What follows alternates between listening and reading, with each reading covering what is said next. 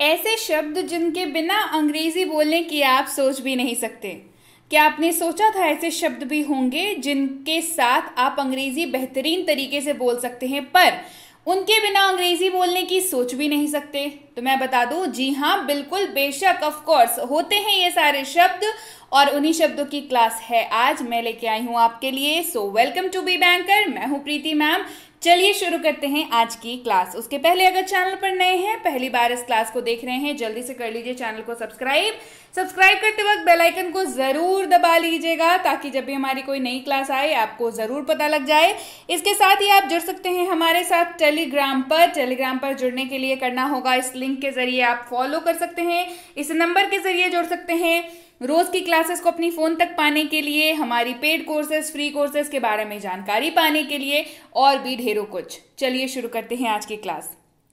तो मैं बता दूँ आपको, ये जो शब्द मैं आपको कराने वाली हूँ, इनके बिना आप अंग्रेज़ी बोलने की सोच तो नहीं ही सकते हैं। साथ ही, इनको पहचानने का एक अलग अंदाज है। ये शब्द ज़्यादातर आपको वाक्य के अंत में ही देखने को मिलेंगे। कहा मिलेंगे?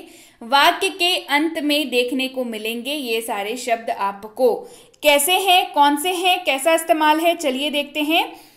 वाक्य का अंत होता हुआ दिखेगा, मी, यानी कि मुझे या मुझसे। वाक्य के अंत में अगर आपको दिखता है मुझे या मुझसे तो आपको अनुवाद करते वक्त ज़रूर से ज़रूर इस्तेमाल कर लेना है मी शब्द का। जैसे उसने मुझे बताया, मुझे दिख गया आपके वाक्य में तो आपको अंत में मी का इस्तेमाल कर लेना है। किसका इस्तेमाल करना है? क्या बताया? कि वाक्य के अंत में देखने को मिलेगा। उसने मुझे बताया, हिंदी वाले वाक्य में क्या दिखना चाहिए? मुझे या मुझसे दिखना चाहिए? तो आपको अनुवाद करते वक्त लास्ट में, अंत में क्या इस्तेमाल करना है? मी शब्द का इस्तेमाल करना है।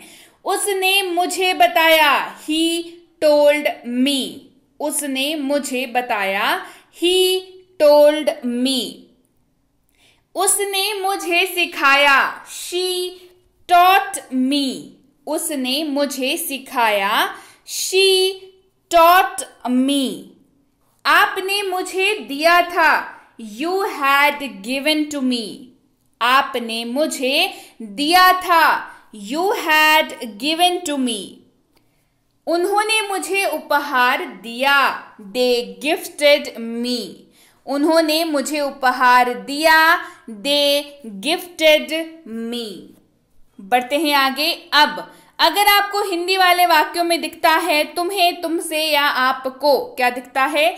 तुम्हें तुमसे या आपको तो अनुवाद करना है आपको, वाक्य के अंत में आपको दिखना, लिखना होगा यू अंग्रेज़ी अनुवाद जो करेंगे वाक्य का, उसके अंत में आपको क्या दिखेगा? आपको दिखेगा यू वाई ओ यू पढ़ते हैं इसको यू हम आपको उपहार देंगे वी विल गिफ्ट यू हम आपको उपहार देंगे वी विल गिफ्ट यू मैं तुम्हें पढ़ाऊँगा। आई विल टीच यू मैं तुम्हें पढ़ाऊँगा. I will teach you Rani ने तुमसे कहा था. Rani had told you Rani ने तुमसे कहा था. रानी हैड टोल्ड यू ये आपको परेशान करेगा. इट विल ट्रबल यू ये आपको परेशान करेगा. इट विल ट्रबल यू अगला है अस। ये आपको वाक्य के अंत में तब इस्तेमाल करना है जब आपको हिंदी वाक्य में दिखेगा, हमें या हमसे। क्या दिखेगा? हमें या हमसे। तो वाक्य के अंत में आपको अनुवाद करते वक्त किसका इस्तेमाल करना है? अस शब्द का। यू एस पढ़ते हैं इसको अस। जैसे, उसने हमें सूचित किया शी इन्फॉर्म्ड अस उसने हमें सूचित किया शी इन्फॉर्म्ड अस उन्होंने हमें दान दिया. दे डोनेटेड अस उन्होंने हमें दान दिया. दे डोनेटेड अस रानी ने हमें सिखाया. रानी टॉट अस रानी ने हमें सिखाया. रानी टॉट अस यह हमें नुकसान पहुँचा सकता है। इट कैन हर्ट अस यह हमें नुकसान पहुँचा सकता है। इट कैन हर्ट अस आगे बढ़ते हैं, अगला शब्द है देम इसका इस्तेमाल आपको वाक्य के अंत में तब करना है जब आपको हिंदी वाक्य में दिखेगा उन्हें या उनसे। क्या दिखेगा? उन्हें दिखेगा या तो उनसे दिखेगा। तो अनुवाद जब करेंगे तो अनुवाद करते वक्त अंग्रेज़ी में इस्तेमाल करेंगे देम शब्द का। किसका इस्तेमाल करेंगे? देम शब्द का। मैं उन्हें सूचित करूँगा आई विल इन्फॉर्म देम मैं उन्हें सूचित करूँगा आई विल इन्फॉर्म देम हमने उनसे पूछा वी आस्क्ड देम हमने उनसे पूछा वी आस्क्ड देम उसने उन्हें उपहार दिया। शी गिफ्टेड देम उसने उन्हें उपहार दिया। शी गिफ्टेड देम इससे उन्हें तकलीफ़ हो सकती है। इट कैन हर्ट देम इससे उन्हें तकलीफ़ हो सकती है।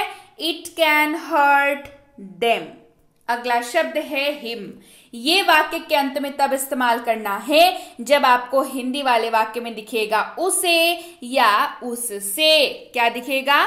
उसे या उससे। चलिए इस्तेमाल देखते हैं। मैं उससे पूछूँगी आई विल आस्क हिम मैं उससे पूछूँगी आई विल आस्क हिम आप उससे बात कर सकते हैं। You can talk to him आप उससे बात कर सकते हैं। You can talk to him हम उससे पूछ सकते हैं। वी कैन आस्क हिम हम उससे पूछ सकते हैं। वी कैन आस्क हिम यह उसे तकलीफ़ पहुँचा सकता है। इट कैन हर्ट हिम यह उसे तकलीफ़ पहुँचा सकता है। इट कैन हर्ट हिम अगर आपको वाक्य के अंत में दिख जाए इस, अगर आपको वाक्य में दिख जाएगा उसे या उससे तो वाक्य के अंत में आपको इस्तेमाल करना होगा हर। लेकिन एक बात ध्यान रखने वाली है, वो ये कि हर शब्द का इस्तेमाल सिर्फ़ और सिर्फ़ महिला यानी कि फीमेल के लिए ही करेंगे।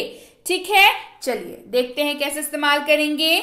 उसने उसे बताया शी टोल्ड हर उसने उसे बताया शी टोल्ड हर आप उससे पूछ सकते हैं। यू कैन आस्क हर आप उससे पूछ सकते हैं। यू कैन आस्क हर वे उसे बुला लेंगे। दे विल कॉल हर वे उसे बुला लेंगे। दे विल कॉल हर ये उसे परेशान करेगा। इट विल ट्रबल हर ये उसे परेशान करेगा। इट विल ट्रबल हर आगे बढ़ते हैं और देखते हैं आपको कि क्या इस्तेमाल करना है क्विक से रिवीजन के साथ। आपको इस्तेमाल करना है मी शब्द का। जब आपको वाक्य में दिख जाए मुझे या मुझसे, और मी का इस्तेमाल भी कहाँ करना है? जब आपको वाक्य के अंत में इस्तेमाल करना है मी शब्द का। ठीक है? आ गया बात समझ में? मी का इस्तेमाल होगा वाक्य के अंत में, जब हिंदी वाले वाक्य में आपको दिखेगा, मुझे या मुझसे। यू शब्द का इस्तेमाल तब करेंगे वाक्य के अंत में, जब आपको दिखेगा तुम्हें, तुमसे, आपको। क्या क्या दिखेगा? तुम्हें, तुमसे, आपको, तब इस्तेमाल करेंगे यू शब्द का वाक्य के अंत में।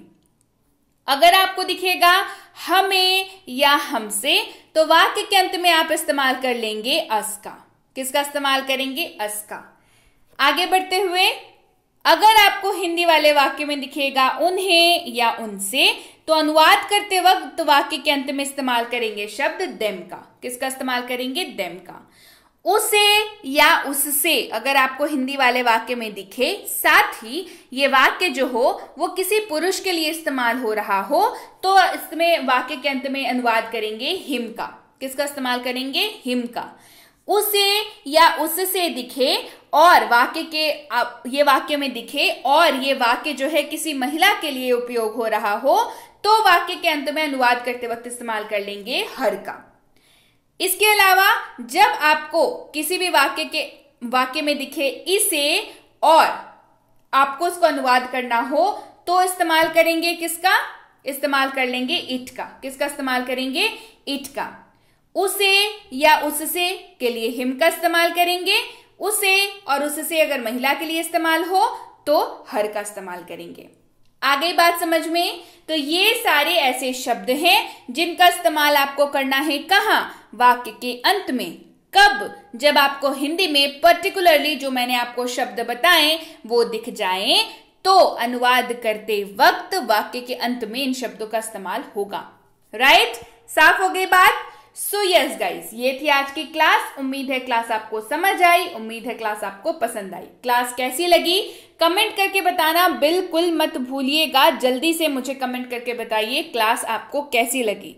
क्लास बढ़िया लगी? क्लास को करिए लाइक करिए शेयर चैनल को सब्सक्राइब अगर अभी तक नहीं किया है तो किस चीज़ का इंतज़ार कर रहे हैं? जल्दी से कर लीजिए. साथ ही, अगर आपको घर बैठे अंग्रेज़ी सीखनी है, वो भी बिल्कुल फ्री ऑफ़ कॉस्ट यानी कि ज़ीरो पैसे, कोई पैसे नहीं। तो आपको मंगवा लेना होगा बेसिक प्लस स्पोकन इंग्लिश की course basic plus spoken English course एक पंद्रह दिनों की कोर्स है, जो कि फ्री कोर्स है। आप इसको घर बैठे कर सकते हैं। अभी तक लाखों लोगों ने इस कोर्स को करके बेनिफिट उठाए हैं।